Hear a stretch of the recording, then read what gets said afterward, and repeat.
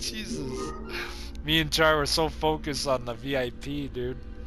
Yeah, so I was like, ah, they're focusing. No worries. Yeah. uh, I'm gonna do a little bit of the share play here, and then I'll do three rounds with you on that. Or on that, or we could do three rounds on Dead by Daylight together. Me, you, Jazz. Oh, okay. I, I thought we were. Uh, uh, uh, hold on. Let me.